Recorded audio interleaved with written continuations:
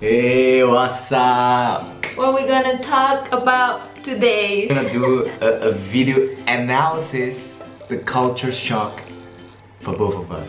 Before you went to Singapore for the first time, what was your expectation about Singapore? First of all, I didn't know much. I only know about Singapore because there's a Chinese restaurant that is called Singapore here in Valencia. And they don't sell Singapore. no, it's, It's Chinese. I didn't know it's so mm, Modern. cosmopolitan. Skyscrapers, buildings. see big buildings. I didn't even know that you speak English, so.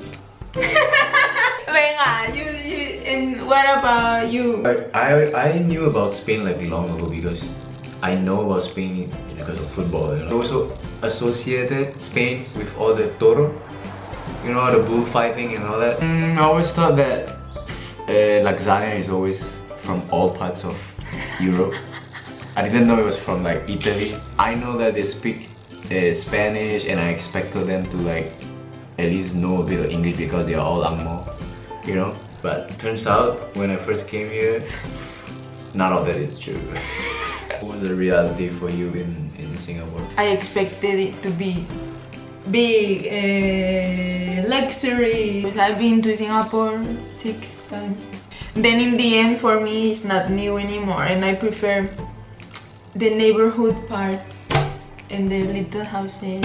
Three years ago, I came to Valencia. It was my first city. People were surprised, you know. Usually, Asian people who goes to Europe is like they will go to London or Or in Spain, they will go to Madrid and Barcelona. yeah. The best thing about Valencia so far to me is the food is is awesome. You know, Also, food in Singapore, I like.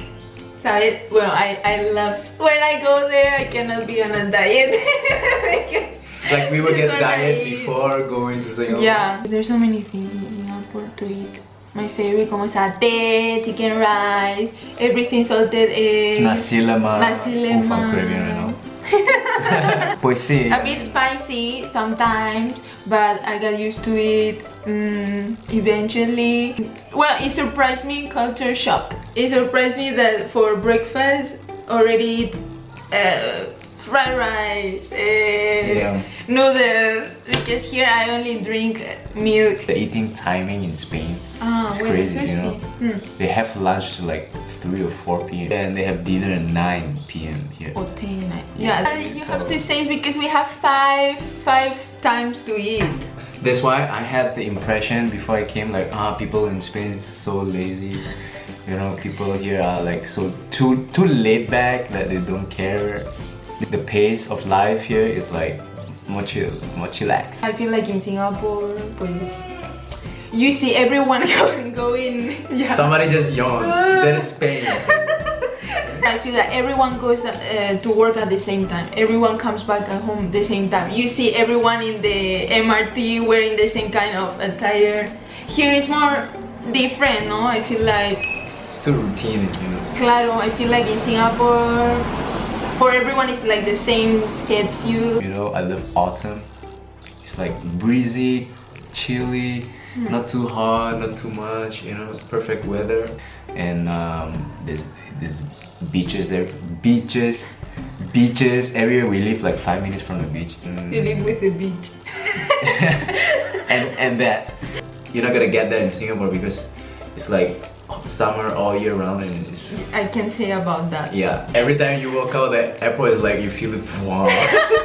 Especially when you come from like during the winter Oh. in Spain and then you suddenly you just walk out of the airport in Singapore. This year we went in January and I experienced it for ah, See, myself. See, It was like oh my god, I forgot how hot it was in Singapore. With the first time I went to Singapore, well, you talked to me in your international accent, but then when we met Casey and you both started talking, I'm like, I didn't understand if you're speaking English. Like, I can catch some words, but I cannot make it sentence link.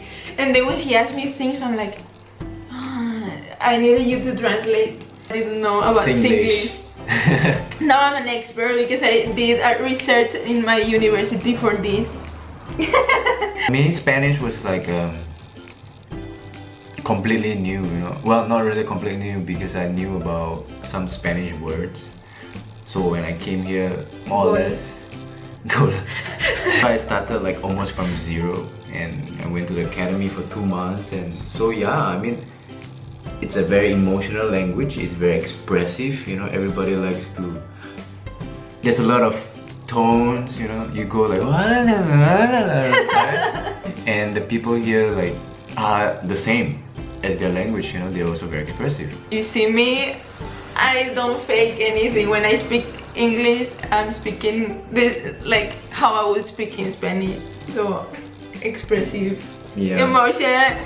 Yeah, so The basic greeting, yeah, they do like two kisses, like mm, mm, mm, two kisses, two kisses to greet anyone, like claro. anyone. Very touchy, touchy, very close thing. You know, nothing that you will see in Singapore. So I mean, it was completely new to me, very different. Took me a while to get accustomed, but eventually now I'm okay. Not say that we are really friendly. I feel that we are always open, open to meet people and all this, and try to make people Yeah. comfortable. In Singapore, So- we just hey. See, for me that's weird. Like when we met your friends, I'm like, oof, uh, I feel that I need to give two kisses. I'm like, oh, and not because like I wanna touch them or anything. It's just that it's something natural for me.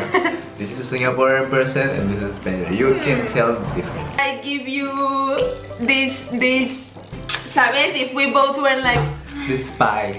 claro, everything is not about race or about culture or anything, right? Yeah. Because we we still keep things from our culture Mm-hmm. and we didn't have to change how we are. Yeah. We just blend both and start to understand other things, to respect things from the other culture. Yeah, so you know when you hear about couples breaking up because of culture difference, this is just bull. Sí. culture or distance, like uh, so Th- far that is away. just ridiculous because I mean it's it, it boils down to individual like if you can accept it or not. We are both very expect accepting and we are both open minded, you know. We don't let it get in our way, you know. So Hmm. I don't think that's an excuse. Yeah. Three cheers to this couple. Nah. Okay, thank you for watching. Thank you for watching. We try to upload as much as possible. We are Qué Shiok. See you in the next video. Bye. Bye.